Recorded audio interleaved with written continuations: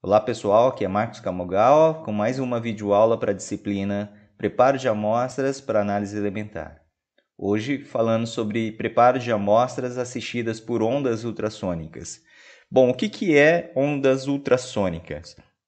Nada mais é do que ondas geradas mecanicamente que têm aplicações analíticas, que têm aplicações é, das mais diversas, desde a audição até usos é, na, na, na, aplicações medicinais, na, na, na parte da medicina.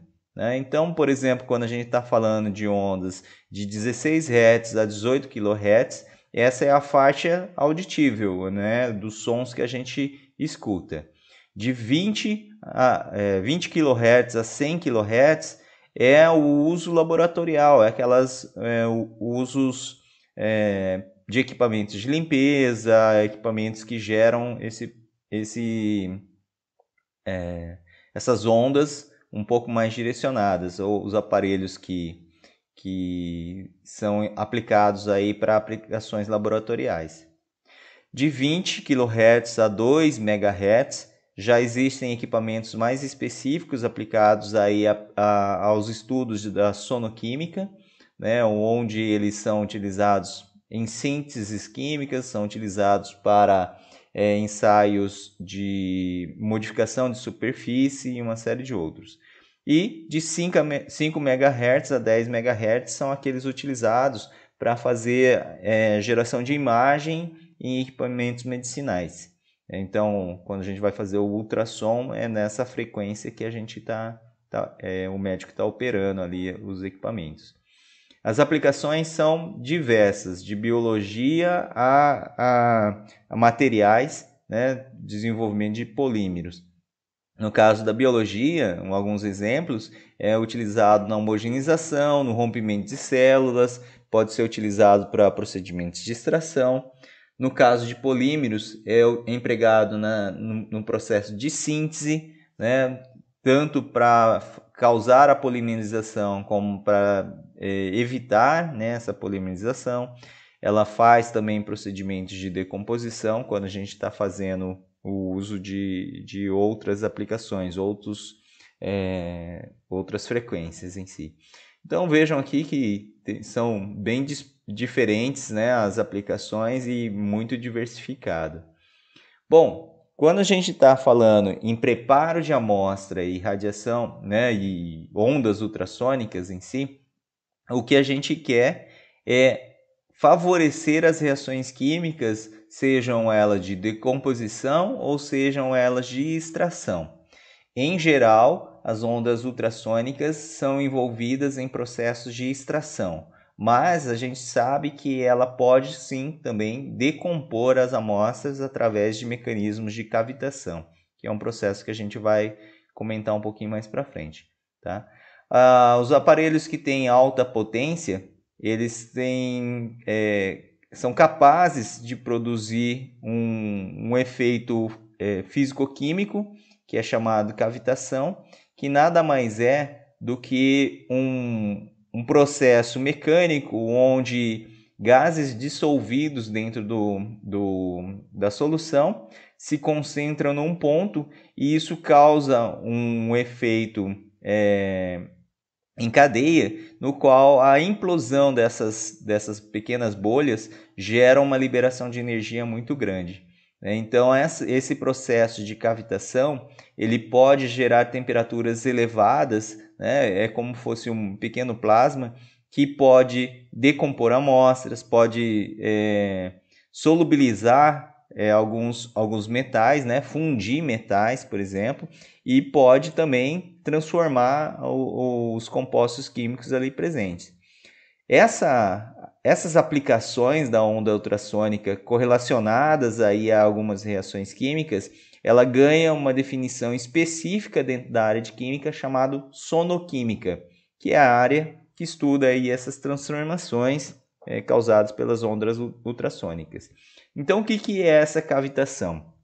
Como a gente está falando de ondas, a, as ondas a gente sabe que ela se propaga em, em processos de é, positivos e negativos, ou nesse caso de compressão e rarefação. Né? O que, que seria isso? Ele comprime né, um determinado, uma bolha de gás, por exemplo, que a gente tem, e depois expande ela. Esse processo de compressão e, e expansão ou a rarefação vai acumulando todos os gases que estão dissolvidos nessa solução em um ponto focal, e esse crescimento de bolha chega até um ponto em que isso é tão instável que ele colapsa.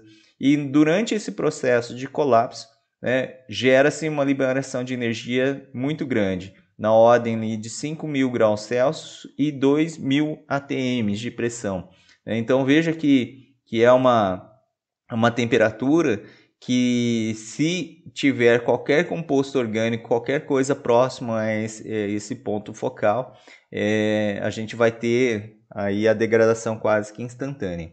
É, lógico que esses processos são muito pequenos, são processos de pequena, é, são muito pontuais e, e pequena proporção.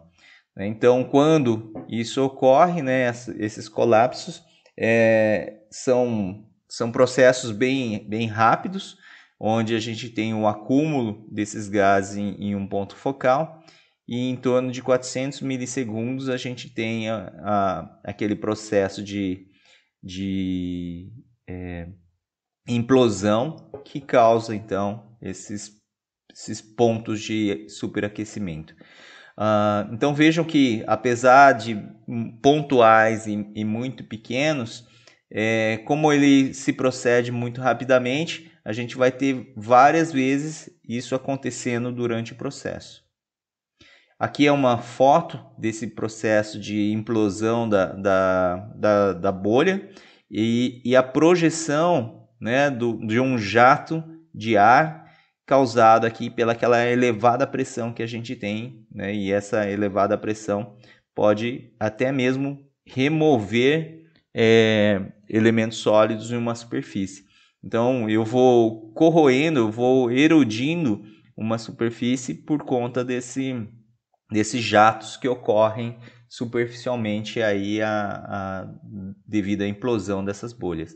Então imagine o seguinte, que eu tenho uma amostra, essas cavitações ocorrem na superfície dessas amostras, né, a cada 400 milissegundos, e aí ela vai é, é, impulsionando pequenos jatos potentes como esse e vai escavando a amostra até fazer a destruição total. Vejam que esses processos têm valores aí muito elevados que vão ser capazes de decompor praticamente tudo que estão presentes. Um exemplo aqui é, que, que usaram para comprovar essas temperaturas foi a fusão de partículas de molibdênio e tungstênio metálico. Veja que o ponto de, de fusão para o molibdênio é de quase 3.000 kelvins, né? 2.890 kelvin, e para o tungstênio é 3.683 kelvins. É, então vejam que quando a gente submete a essas partículas a uma onda ultrassônica, ocorre a fusão dessas partículas no meio de solução. Veja aqui uma uma imagem ampliada de duas partículas metálicas de zinco fundidas por conta de, um, de uma onda ultrassônica que foi é, incedida sobre ela a 20 kHz, né, com uma potência de 50 watts por centímetro cúbico. Então, é, é, apesar desse processo ser bastante pontual, a gente tem uma eficiência bastante grande naquela temperatura produzida. Vejam que ela também é aquele processo de erosão, né, que, que vai desgastando as superfícies do, dos materiais, ela é verdadeira. Então a gente tem aqui, ó, os efeitos de cavitação na superfície do óxido de níquel, né, simplesmente pelo uso de ondas ultrassônicas nesse processo. Então, imagine, se ele está modificando a superfície, erodindo essa superfície, todo esse metal que estava aqui, né, que fazia esse recobrimento, foi para a solução. Então a gente pode sim utilizar essas ondas ultrassônicas para fazer a análise química de metais. Vejam e entendam que não é uma decomposição total, é parcial. Então ele atua como uma extração.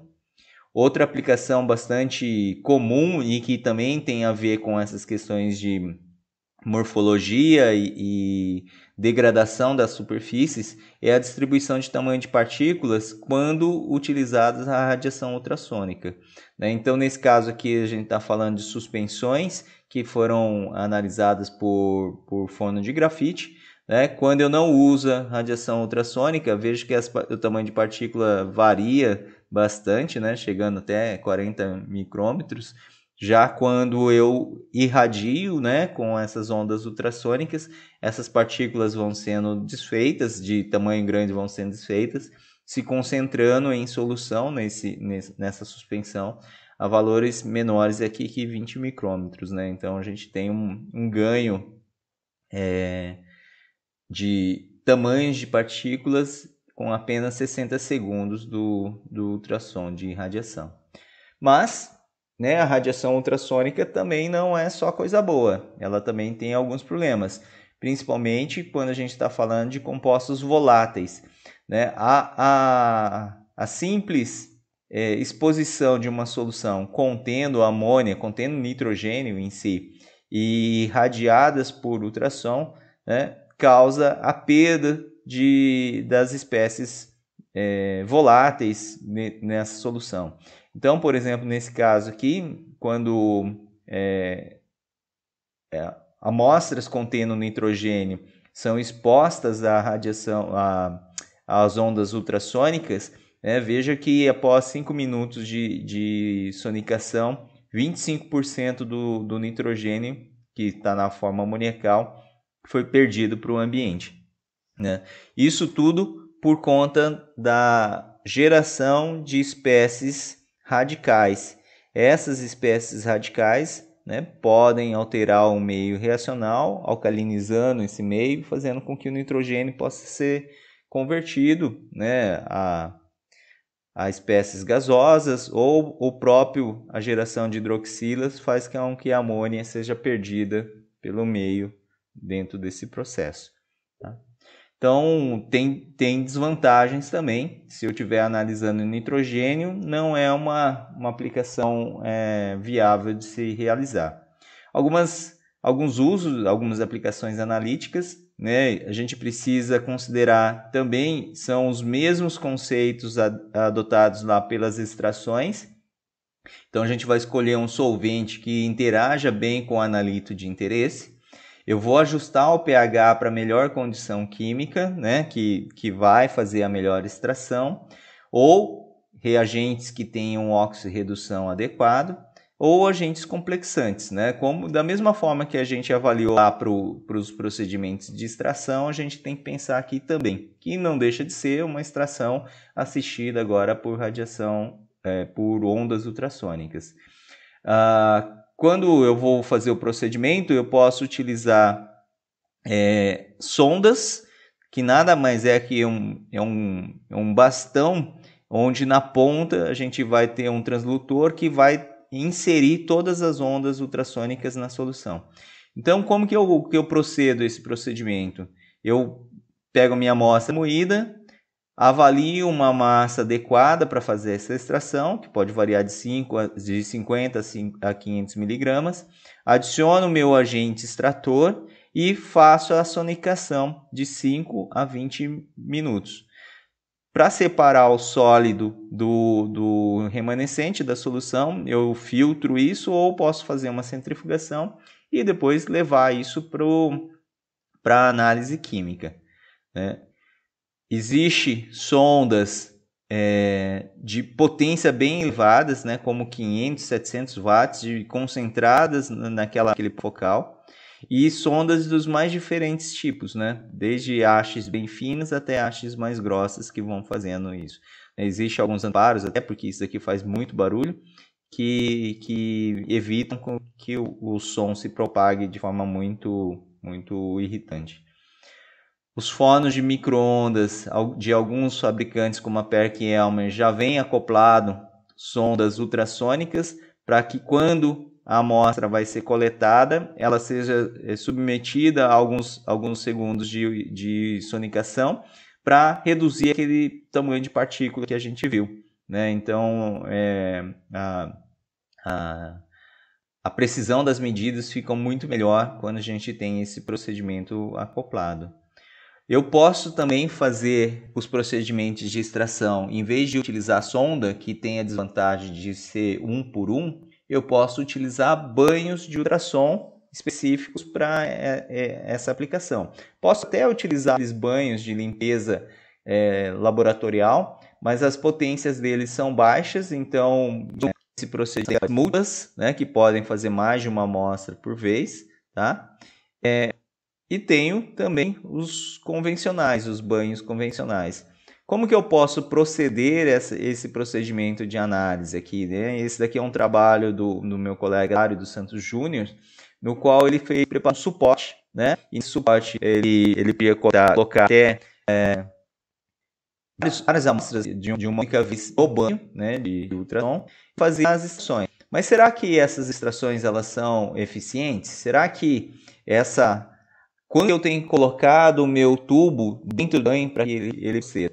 Né? Nos estudos realizados pelo, pelo Dário, ele, ele, percebeu que a distribuição das ondas ultrassônicas ela não é homogênea. Ela, assim como a ela tem zonas de concentração maior. Então, nesses pontos em que ela está tá distribuída, nesses pontos em que a gente tem uma incidência de ondas bastante a atração é eficiente. Mas outras em ondas não tem uma densidade, acaba ficando é, eficiência Então, apesar de ter a configuração vários passos de mês, isso na prática não é porque a gente precisa as amostras ponto cal. Mas não quer que não funcione, né? Então, dependendo das aplicações, dependendo do que a gente quer determinar, funciona. Então, nesse trabalho da analítica química acta, né, do, do grupo da, dos barreiras, é, vejam que eles conseguiram é, a determinação de uma série de metais, né, arsênio, cádmio, cálcio, cobalto, cromo, cobre, em amostras de é, alimento marinho, né, é, de, de peixe, frutos do mar de modo geral,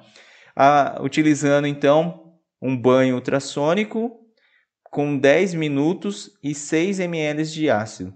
Né? Usaram uma massa pequena de, de amostra, 200 miligramas, com 300 micro, micrômetros de tamanho de partícula. Aqui o tamanho da partícula é fundamental para que a extração seja eficiente. Então vejam que eles, eles fizeram os testes com material certificado de referência e os resultados obtidos com o procedimento de extração foram todos condizentes com o material, com o teor certificado que foram avaliados. Né? Então, é, apesar das extrações terem as suas limitações, foram bem, bem é, eficientes para esse tipo de amostra.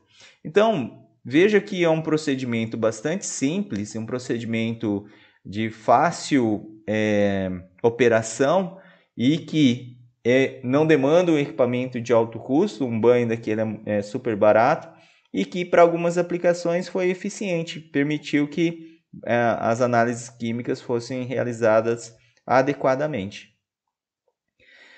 Bom, toda vez que a gente está falando então de ondas ultrassônicas para fazer extração, a gente tem que considerar algumas coisas. A cavitação, que é aquele fenômeno térmico que a gente viu, ele ocorre quando a gente tem gases dissolvidos, né? Então a, a solução ou a água que está ali presente no, no, no banho, ele tem que ter é, tem que ser trocada constantemente, porque ele tem que ter gases dissolvidos para que isso ocorra, para que aquele processo de cavitação ocorra. A temperatura da água também não pode ser muito alta, porque a gente sabe que quanto maior a temperatura, menos gases dissolvidos eu vou ter. O volume da água tem que ser é, controlado e constante, porque a propagação da, da onda depende desse volume. A adição de alguns componentes à, à água é, melhoram o desempenho da cavitação, porque é, retém, por exemplo, o uso de detergente retém mais gases dissolvidos, né, muda a, a, viscosidade daquele meio e permite então que é, as cavitações ocorram de forma mais eficiente. Tá? A posição do frasco no, no processo de, de extração é importantíssimo, então é necessário fazer um mapeamento daquele banho para poder é, posicionar eles nas, nas, no local de maior incidência. E também não dá para usar vários frascos de uma vez, né? Porque eu vou ter que ter uma restrição do uso de frascos nas posições de maior extração. Então, esses são os pontos mais importantes que a gente vê aí no processo de, de extrações por ondas ultrassônicas. Então, só para finalizar, o, as extrações ultrassônicas são bastante simples, baratas, né? não tem um custo é, elevado, os banhos são, são baratos. Ele é robusto porque uma vez você de, definido as posições de maior incidência e os procedimentos de, de é, extração, ela vai ser bastante reprodutível. A, a, frequência analítica ela vai ser limitada porque se eu conseguisse fazer todos os frascos de uma vez seria muito bom, mas a gente sabe que isso não é possível porque ele tem que ter uma posição específica então acaba ficando limitado. Uh, aqui, quanto às características multielementares, vai depender muito da amostra e dos elementos que a gente está tá vendo. Então, por isso que tem uma carinha feliz e triste ali, porque depende muito do, das condições de extração. Uh, a acidez residual é baixa, eu posso trabalhar com ácidos diluídos, porque o princípio, na verdade, ali é mecânico, né? Então eu vou introduzir uma onda mecânica que vai favorecer o solvente de, de interagir com aquela amostra. Então, é, não necessito de concentrações elevadas de ácidos, por exemplo. A confiabilidade metrológica ela é um pouco limitada porque é, dependendo da posição, dependendo do, do, tempo de exposição em si, se você mudar uh, o volume da, da, de solução dentro do banho, ele vai deslocar a onda de, de maior incidência e aí você pode ter alterações. Então, as, a, as reprodutibilidades ficam afetadas por conta disso. Mas é possível sim de fazer essas análises. Ok? Pessoal, então, isso é o, o, os procedimentos utilizados aí com ondas ultrassônicas e a gente fica por aqui. Um grande abraço, tchau, tchau.